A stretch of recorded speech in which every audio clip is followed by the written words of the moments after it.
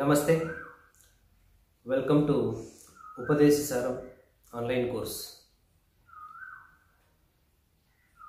భగవాన్ రమణ మహర్షుల వారు రచించినటువంటి ఉపదేశ సారంలో కర్మయోగం అంటే కర్మకు సంబంధించినటువంటి విజ్ఞానం మూడు శ్లోకాల్లో చెప్పబడింది. మొదటి రెండు శ్లోకాలు కర్త్రాజ్ఞేయ ప్రాప్యతే ఫలం కర్మకింపరం కర్మ తర్జడం కర్మ మహోదధం పతన కారణం ఫలమ శాశ్వతం గతి నిరోధకం. ఏ పనికి కూడా కర్త ఈశ్వరుడే అవుతాడు కానీ చేసే నువ్వు కాదు. మనం చేసినటువంటి కర్మలకు ఫలితాన్ని నిర్ణయించేది కూడా ఈశ్వరుడే. ఈ విషయం మనం తెలుసుకోకుండా అన్ని కర్మలకు నేనే కర్తను. ఈ ఫలితాలకు ఈ ఫలితాలన్నీ కూడా నాకే చెందాలి అని గనుక మనం అనుకుంటే కర్మ మహోదదో పతన కారణం. కర్మ ఒక మహాసముద్రంలా మారిపోయి నిన్ను కర్మ చక్రంలో బంధించి వేస్తుంది. నువ్వు కర్మను చేసుకుంటూనే జీవితాంతం ఉండిపోతావు. ఎందుకంటే ఫలం అశాశ్వతంగా ఉండి నీ యొక్క మోక్ష మార్గాన్ని అడ్డగిస్తుంది. అంటే ఇక్కడ మరి ఏ విధంగా కర్మలు చేయాలి అన్నటువంటి ప్రశ్నకు సమాధానం. కర్మలు చేసుకుంటూ వెళ్తే ఫలం అశాశ్వతంగా ఉండడం చేత ఆ ఫలాన్ని మళ్ళీ పొందడానికి కోసమై. మళ్ళీ మనం కర్మలు చేసుకుంటూ పోతే కర్మచక్రంలో ఇరుక్కుపోతాం. అంటే మోక్షం అనేది లేకుండా పోతుంది. మరి దీనికి పరిష్కారం ఏంటి? అనే యొక్క పరిష్కారాన్ని మూడో శ్లోకంలో భగవాన్ వివరిస్తూ ఉన్నారు. నిజానికి కర్మయోగం సారం మొత్తం ఈ యొక్క మూడవ శ్లోకంలోనే ఉంది. ఈశ్వరార్పితం నేచ్ఛయాకృతం చిత్తశోధకం ముక్తి సాధకం. మూడవ పద్యం శ్లోకం ఈశ్వరార్పితం నేచ్ఛయాకృతం చిత్తశోధకం ముక్తి సాధకం. కర్మలు ఎలా చేయాలంటే ఈశ్వరార్పితం చేసి చేయాలి. నేచ్ఛయాకృతం నేచ్ఛయ అంటే నా ఇచ్ఛ కృతం అనేది అంటే కర్మ అనేది మనం ఏం ఎలా చేయాలంటే ఇచ్ఛ లేకుండా చేయాలి. ఇక్కడ చాలామంది కన్ఫ్యూజ్ అవుతారు. కర్మ ఇచ్చ లేకుండా చేయడం ఏంటండి? అంటే ఇష్టం లేకుండా పని చేయడమా అని అర్థం కాదు. ఫలితం పైన ఆసక్తి లేకుండా పనిచేయడం ఈ వర్డ్ మనం జాగ్రత్తగా గుర్తుపెట్టుకోవాలి. నేచ్ఛయాకృతం అంటే ఇచ్చ లేకుండా కర్మ చేయమని కాదు. కర్మ ఇష్టంగా చేయాలి శ్రద్ధగా చేయాలి.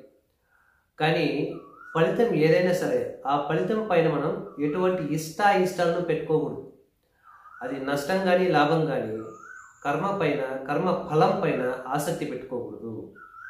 ఈ విధంగా కర్మఫలం పైన ఆసక్తిని వదిలేసి ఆ కర్మఫలాన్ని ఈశ్వరునికి అర్పించడం చేత దీన్నే మనం కర్మల్లో యోగం అంటారు. కర్మయోగము అంటారు. కర్మయోగానికి అసలైనటువంటి అర్థం ఏంటంటే ఫలితం పైన ఆసక్తి లేకుండా శ్రద్ధగా పనిచేసి ఫలితం ఏదైనా సరే ఆ ఫలితానికి కర్త అయినటువంటి కర్మకు కర్త అయినటువంటి ఈశ్వరునికే అర్పించి అర్పించి చేస్తే దాన్నే మనం కర్మయోగం అంటాం. ఏ విధంగా మీరు దైనందిన జీవితంలో ఏ పని చేసినా కూడా చేస్తున్నది నేను కాదు. నా చేత ఈశ్వరుడు చేయిస్తున్నాడు లోక కళ్యాణం కోసం.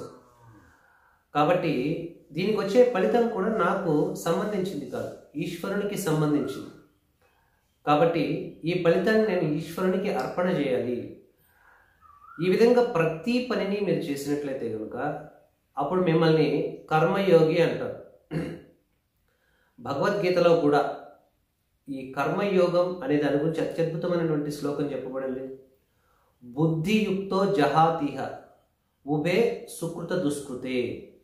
అంటే బుద్ధియుక్తుడు అంటే ఎవరంటే బుద్ధిమంతుడైనటువంటి కర్మయోగి. అతను ఎలా కర్మలు చేస్తాడంటే జహాతిహ ఉభే సుకృత దుష్కృత. అంటే నువ్వు సుకృతం మంచి పనులు చేసినా చెడు పనులు చేసినా వాటి కర్మఫలాలను తాను స్వీకరించకుండా ఇక్కడే వాటిని వదిలేస్తాడు. తస్మాత్ యోగాయ యుజ్యస్వ యోగ కర్మసు కౌశలం.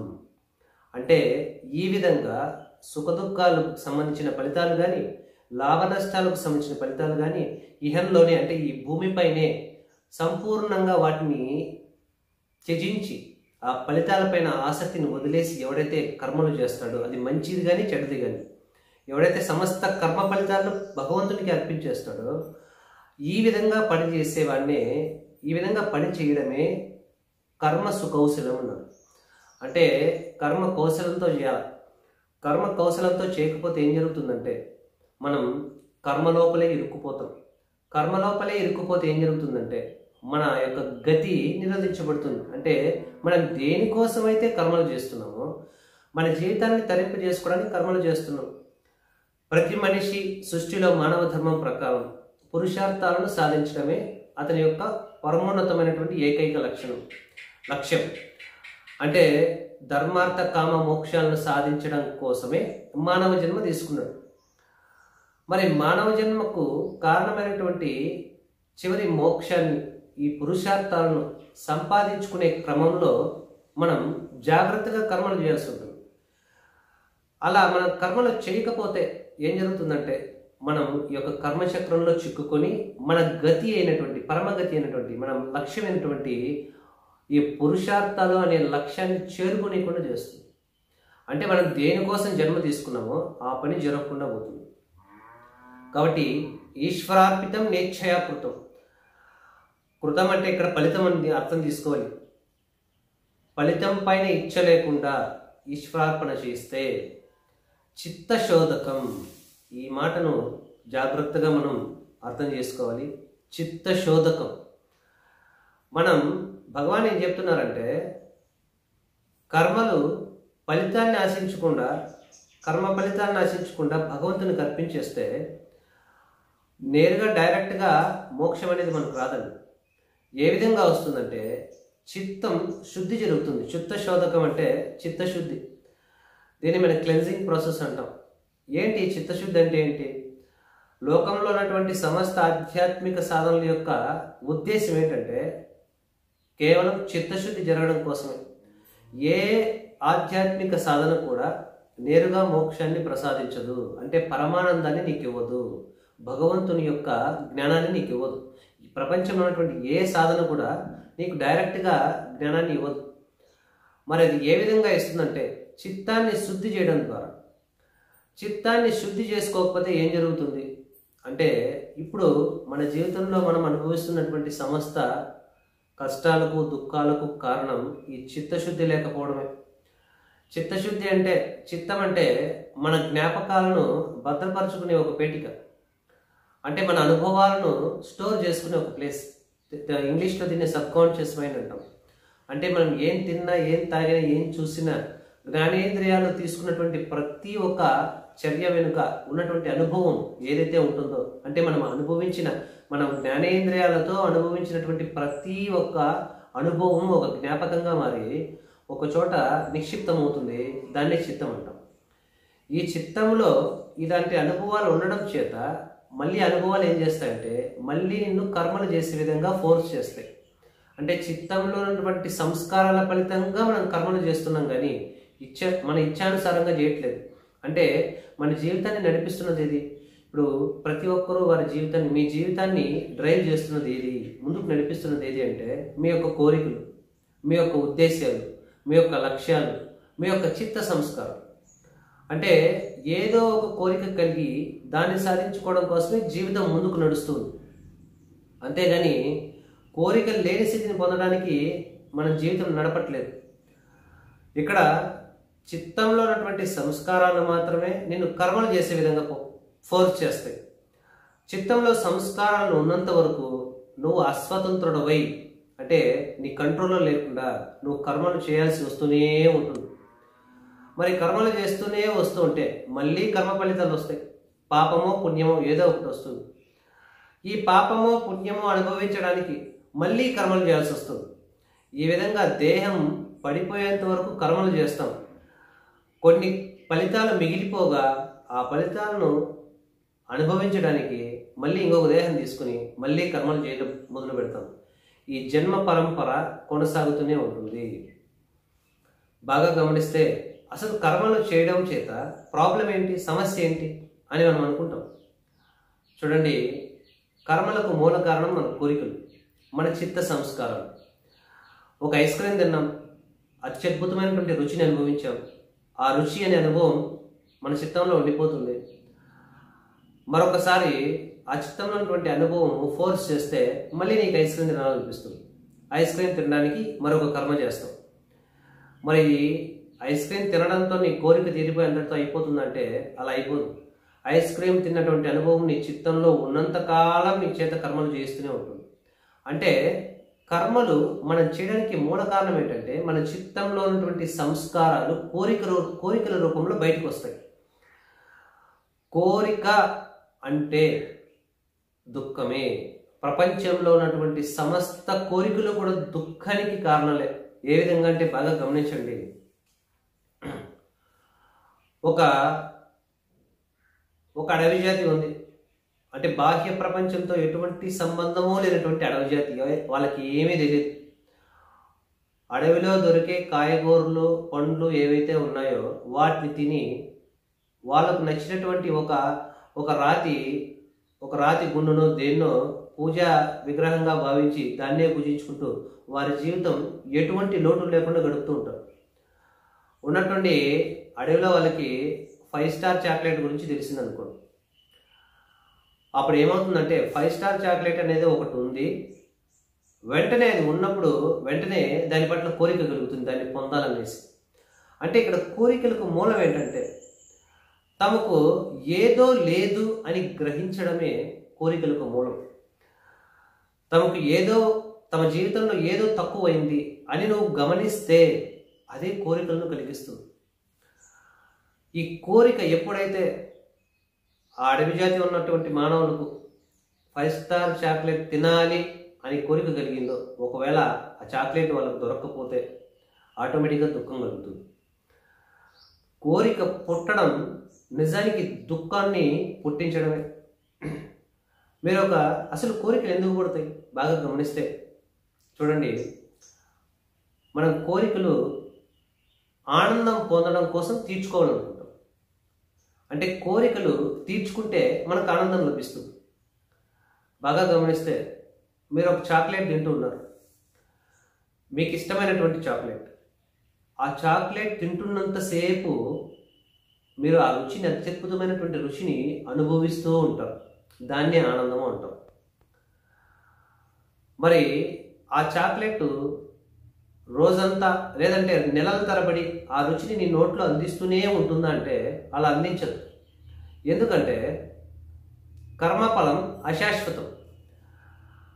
ఫలితం ఎప్పుడు కూడా అశాశ్వతంగా ఉంటుంది. ఎందుకంటే చాక్లెట్ అనేది ఒక చిన్న భౌతిక పదార్థం కాబట్టి భౌతిక పదార్థం ఈ సృష్టిలో ఏ భౌతిక పదార్థం అయినా సరే దానికి జన్మించడం అంటే సృష్టింపబడటము తర్వాత వృద్ధి చెందటము తర్వాత మార్పు చెందటము క్షీణించడము నశించిపోవడము. అనేటివి ఈ వికారాలు అనేవి ఉంటాయి. ప్రపంచంలో మనం పొందుతున్న ఏ వస్తువుకైనా సరే ఇవన్నీ వికారాలు ఉంటాయి. పుట్టడము పెరగడము ఉండడము మార్పు చెందడము క్షీణించడము నశించిపోవడం. అంటే ప్రపంచంలో ఏ భౌతిక పదార్థం కూడా శాశ్వతంగా ఉండిపోదు. అది ఇచ్చే ఫలితం కూడా శాశ్వతంగా ఉండిపోదు. కాబట్టి చాక్లెట్ నోట్లో అయిపోగానే రేపొద్దున ఆ సుఖానుభూతి అంతటితో అయిపోయింది కాబట్టి ఆ సుఖానుభూతిని మళ్ళీ పొందడానికి నువ్వు చాక్లెట్ తింటావు. అలా కాకుండా నువ్వు చాక్లెట్ నోట్లో పెట్టుకున్నావు. సంవత్సరాల తరబడి ఆ చాక్లెట్ యొక్క రుచి నోట్లోనే ఉందనుకోండి. దాన్ని అలాగే అనుభవిస్తూనే ఉన్నారనుకోండి. అప్పుడు మళ్ళీ నీకు చాక్లెట్ తినాలన్నటువంటి కోరిక కలుగుతుందా? కలదు అంటే ఎప్పుడైతే సుఖానుభూతిని ఇచ్చే ఒక వస్తువు పూర్తిగా నశించిపోయిందో అడుగంటిపోయిందో ఆ అనుభవం నిలిచిపోయిందో మళ్ళీ అనుభవం కోసం వెంపర్లాట మొదలవుతుంది. ఇక్కడ బాగా గమనిస్తే చాక్లెట్ తింటున్నప్పుడు చాక్లెట్ నుంచి ఆనందం వస్తుందా? నీ లోపల నుంచి ఆనందం వస్తుందా గమనిస్తే? చాక్లెట్ నుంచి కనుక ఆనందం వచ్చేటట్లయితే నీకు సుఖం లభించేటట్లయితే నువ్వు వంద చాక్లెట్లు తినేసిన తర్వాత నూట ఒకటో చాక్లెట్ తినేటప్పుడు కూడా నీకు అదే సుఖమను సుఖం రావాల్సి ఉంటుంది. నువ్వు ఏ ఏ యొక్క పరిస్థితుల్లో చాక్లెట్ తిన్నా కూడా ఎప్పుడు తిన్నా కూడా నీకు అదే సుఖం రావాల్సి ఉంటుంది. కానీ అలా రావట్లేదు. లడ్డు అంటే ఇష్టమని రెండు లడ్డూలు తింటాం. అదే నూరు లడ్డూలు తినాల్సి వచ్చింది అనుకోండి. వంద లడ్డు తినేటప్పుడు నిజమైనటువంటి నరకం అంటే ఏంటో తెలుస్తుంది. అంటే లడ్డు సుఖాన్ని ఇవ్వట్లేదు. అసలు సుఖం అనేది ఆనందం అనేది మన లోపలే ఉన్నటువంటి సహజ గుణం. మరి చాక్లెట్ తింటున్నప్పుడు ఆనందం ఎలా వస్తుందంటే ఇక్కడ అత్యద్భుతమైనటువంటి రహస్యాన్ని మనం గుర్తుపెట్టుకోవాలి.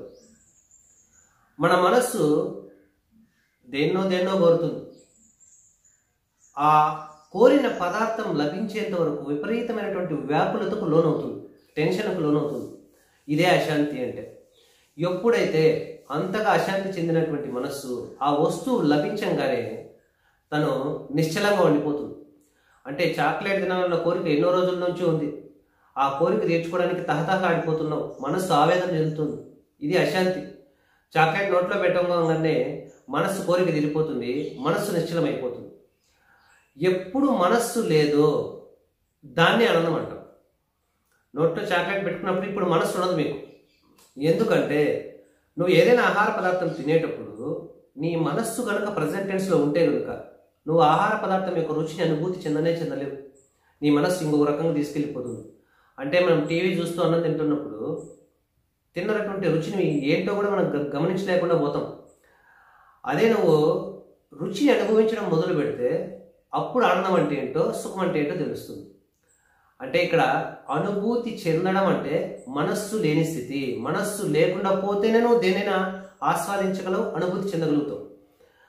మనస్సును పెట్టుకొని నువ్వు దేన్ని కూడా సృష్టిలో ఆస్వాదించలేవు. అంటే మనస్సు లేని స్థితే అనుభూతి అంటే. అనుభూతి అన్న ఆనందించడం అన్న రెండో ఒకటే. ఇప్పుడు చెప్పండి చాక్లెట్ రుచిని అనుభూతి చెందేటప్పుడు మనస్సు ఉండదు కాబట్టి అప్పుడు నువ్వు ఆనందంగా ఉంటావు శాంతంగా ఉంటావు. నువ్వేమనుకుంటావంటే చాక్లెట్ నుంచి నాకు ఆనందం వస్తుంది అనుకుంటావు. కానీ నిజానికి ఆనందం వస్తున్నది చాక్లెట్ నుంచి కాదు చాక్లెట్ మనసు నిలిచిపోవడం చేత ఆనందం వస్తుంది. గాఢ నిద్రలో నీకు మనస్సు ఉండదు కాబట్టి పరమానందంలో ఉంటావు ఉదయం నిద్ర లేవంగానే మనసు వస్తుంది కాబట్టి సంకల్పాలు కలుగుతాయి అంటే కోరికలు కలుగుతాయి కోరికలు దుఃఖాన్ని తెచ్చిపెడతాయి. ఈ కోరికలు తీర్చుకోవడానికి కర్మలు చేస్తావు. కర్మ ఫలితాలను ఆశిస్తావు ఆ కర్మ ఫలితాలు సంస్కారాలుగా మరి మళ్ళీ నిన్ను కర్మలు చేయిస్తాయి. మన జీవితం ఆ కర్మ అనే గంజిలో ఉన్నటువంటి ఈగలాగా ఆ కర్మ అనే సముద్రంలోంచి బయటికి రాకుండానే పోతుంది. మరి ఈ ప్రమాదాన్ని తప్పించుకోవాలనుకుంటే నువ్వు నిత్యం ప్రశాంతంగా ఆనందంగా పరమానందంలో ఉంటూ నీ యొక్క కర్తవ్యాన్ని నువ్వు సరిగ్గా నిర్వర్తించాలనుకుంటే మనం ఇక్కడ ఏం పని చేసామనేది ముఖ్యం కాదండి. ప్రశాంతంగా శాంతంగా పరమానందంతో ఉన్నామా లేదా జీవితకాలం మొత్తం అనేదే ముఖ్యం. మరి ఏదైతే ఉపాయం ఉందో పరమానందాన్ని పొందడానికి నిత్యానందాన్ని పొందడానికి ఏదైతే ఉపాయం ఉందో ఆ ఉపాయాన్ని మాత్రం వదిలేసి మిగిలినవన్నీ ఏదో పొందితే నా జీవితం పూర్తవుతుంది. ఏదో పొందడం చేత నేను సంతోషంగా ఉంటాను అనుకుంటూ మనం వ్యర్థంగా వస్తువుల కోసం నిత్యం ప్రయత్నం చేస్తూ చివరికి మనం నశించిపోతూ ఉంటాం. ఇక్కడ నువ్వు పరమానందంలో ఉండాలంటే నీ యొక్క గతిలో నువ్వు ముందుకు వెళ్ళాలంటే మోక్ష మార్గంలో నువ్వు ముందుకు వెళ్ళాలంటే ఇక్కడ భగవాన్ చెప్తున్నటువంటి రహస్యం ఏంటంటే ఈశ్వరార్పితం నేచ్ఛయాకృతం చిత్తశోధకం ముక్తి సాధకం అంటే నువ్వు ప్రతి కర్మను కర్మ ఫలితం పైన ఇచ్చ లేకుండా ఈశ్వరార్పణం చేసేది. ఇలా ఈశ్వరార్పణం చేసేస్తే అప్పుడు చిత్తం శుద్ధి జరుగుతుంది.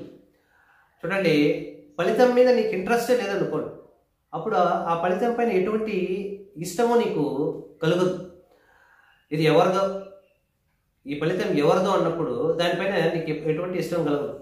మీరు అద్దె ఇంట్లో ఉంటారు. మీరు ఎన్ని రోజులు ఆ ఇంట్లో ఉన్నా కూడా మీకు బాగా తెలుసు ఇల్లు మీది కాదు అని. కాబట్టి ఆ ఎటువంటి ఆ ఇల్లు మీద ఎటువంటి మమకారం మీకు కలగదు. ఆ ఇంటిని బాగు చేసుకోవడానికి మీరు ఎటువంటి ప్రయత్నాలు చేయరు. ఎప్పుడైతే ఇది నాది ఇది నాకే చెందింది అన్నటువంటి భావన కలుగుతుందో అప్పుడు ఆటోమేటిక్గా దానికోసం మనం ఏమైనా కర్మ చేయడానికి ఉద్యుక్తులవుతాం. కాబట్టి ఈశ్వరార్పితం ఈ ఫలితం నాది కాదు అని నువ్వు అన్నప్పుడు బ్యాంకులో క్యాషియర్ ఉంటాడు. లక్షల కొద్ది డబ్బు ఉంటుంది కానీ ఇది నాది అనుకోడు ఎప్పుడు కూడా. నాది అనుకోడు కాబట్టే ప్రశాంతంగా పని చేసుకోగలుగుతాడు. ఒకవేళ ఈ డబ్బు అంతా నాదేనేమో అనుకుంటే ఇక అతను పని చేయలేడు. కాబట్టి ఎందుకంటే డబ్బు వస్తూ ఉంటుంది పోతూ ఉంటుంది దాన్ని చూసి చలించిపోతాడు. ఇక్కడ మనం కూడా సమస్త కర్మలకు కర్త ఈశ్వరుడే కాబట్టి ఫలితం కూడా అయిందే కాబట్టి నువ్వు ఏ పనైనా చెయ్యి. ఈశ్వరార్పణం చేసేయాలి. ఈశ్వరార్పణం చేయడం అనేది ఎలా చేయాలి? కేవలం భావన చేత. ఎందుకంటే ఈశ్వరుడు భావరూపంలో ఉంటాడు. అందుకే భావరూపాయ నమ అని విష్ణు సహస్రనామంలో ఒక నామం ఉంటుంది.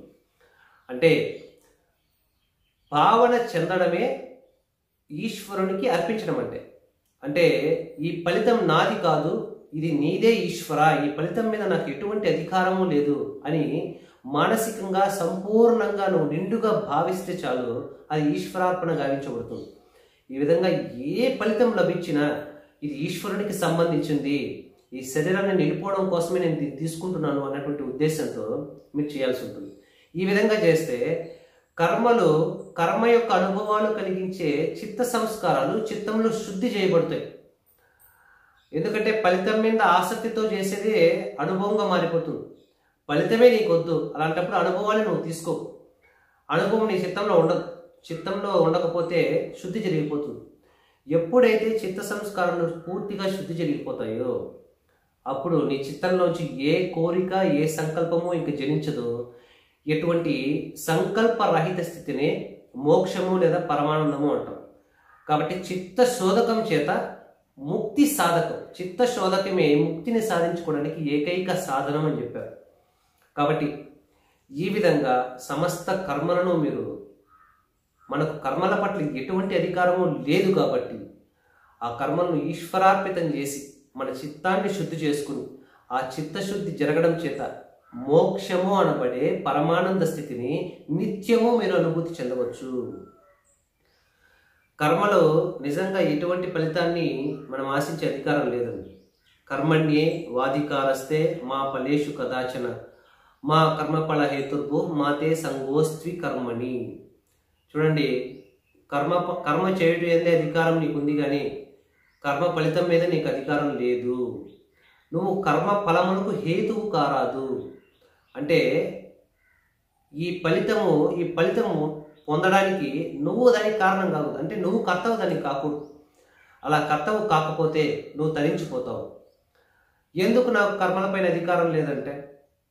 నువ్వు ఇప్పుడు ఒక రిక్షా దొక్కే ఉద్యోగం కానీ లేదంటే ఒక సాఫ్ట్వేర్ ఉద్యోగం కానీ ఎందుకు చేస్తున్నావో గమనిస్తే కనుక పూర్వజన్మలో ఉన్నటువంటి కర్మఫలం చేత నువ్వు రిక్షా దొక్కడము ఏసీ కింద పని కూర్చొని పని చేయడము అనే సుఖం నీకు సుఖ దుఃఖాలు నీకు లభిస్తున్నాయి.